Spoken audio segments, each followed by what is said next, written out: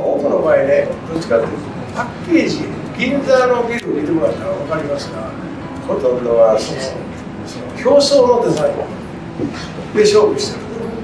長年、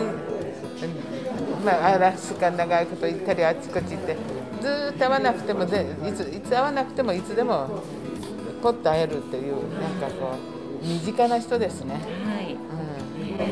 先生とあの浜野先生と越野先生がこうお話しされてるのをお聞きしても本当にこう気心が知れたというかね長いお付き合いの人だと。言ってる場合じゃないです。そんな感じですね。大体大阪京都だし、ど。どうやったって関西人ですからね。はい。とにかくこれから常に常にこれからの人ですよ。このエネルギーってのは消えないと思います。はい。うん、消えてたまるかみたいな そういう人ですね。だから頼もしいです。うん、いつでもいつでも若い時から今は変わらないんじゃないですかね。うん。はい。そういうところがなんかすごいつ通じ合ってて、うんそれをだなんか頑張って目指すっていうより彼のその生き方がナチュラルなんですよ、はい。わざとじゃないの、もう性格と勢いがもう正確になって、はい。それで怖いもの知らずっていうのかな、でどんなすごいとこでも行っちゃうしはい。その実行力が素晴らしいと思いま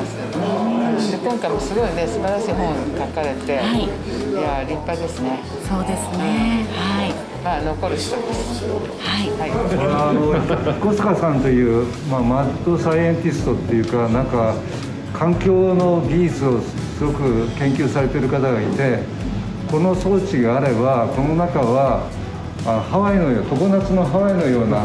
気持ちのいい空間になるというのでこれ栗田工業というところでわざわざ作ったんですがあまりうまく動かなかったんですね。だから巨大なすごい高いオブジェを浜野さんに作ってしまったというので僕はずっと浜野さんにはあの借りがあると思ってたんですけども浜野さんこの建物を作る時に俺が建築家決めたら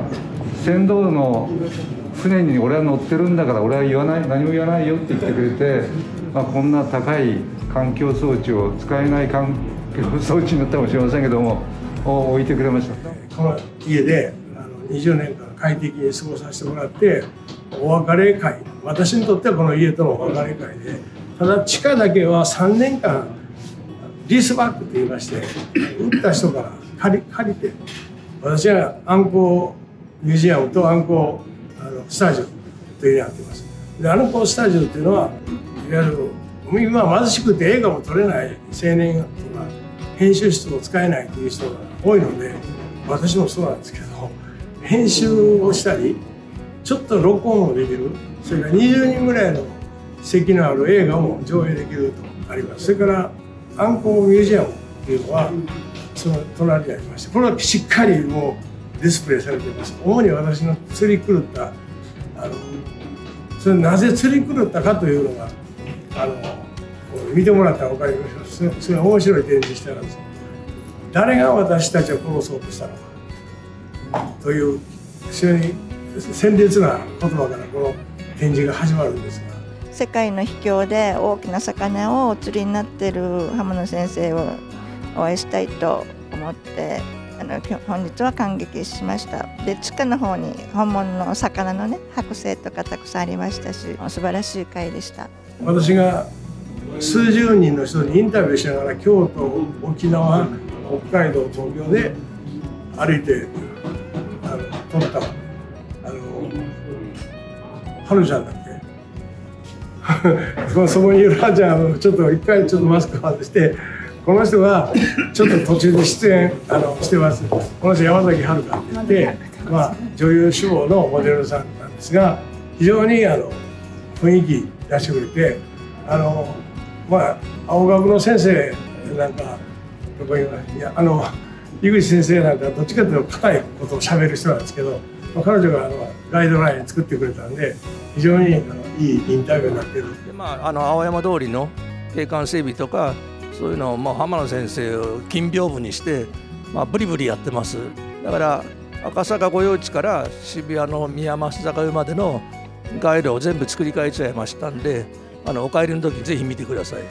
はい、あの浜の泉がそこに反映されてると思いますんで。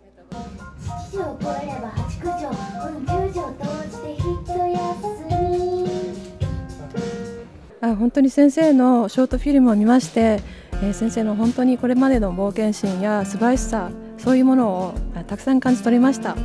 私はとにかく浜野君が初めてカリフォルニアに行くっていうのでサンフランシスコから船であの横浜の大桟橋から出るっていうのは私送って行ったんですよ送りに行ったんですよ、あのもうとにかくテープでもう「はい行ってらっしゃい」もう一生帰ってこないような顔して、まあ、とにかく行きましたよね。その時になんか男の子がパッと私のところに来て関西ですあそれが山本関西そうそうなんでそんなに逆らうの？なんで？なんで？南行南行南行道南行道で生きてきた。楽な楽な簡単な道ばかり。家族で喧嘩しようがあの仲間と別れようが、まあ、詐欺に金取られようが釣り竿さえ持てばねもうなんとかなったっていうか川のそばに立てば自分の中にエネルギーが川からずっといただけるものがあるとよく人がねそんな平和な毎日をねそんなどうして激流ばっか選んで歩くのと